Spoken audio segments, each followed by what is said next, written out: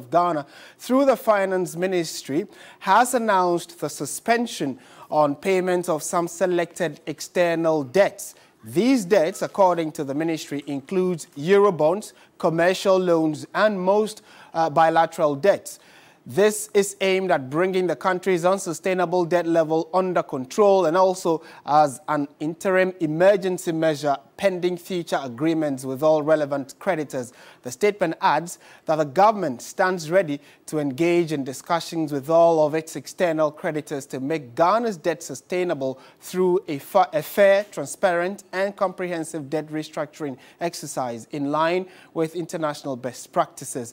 We'll be delving in detail on exactly what this means going forward and also how it plays out in the fact that uh, we have reached a staff level agreement with the IMF and looking forward to a full board agreement or approval of um, the uh, loan that we are expecting from the IMF.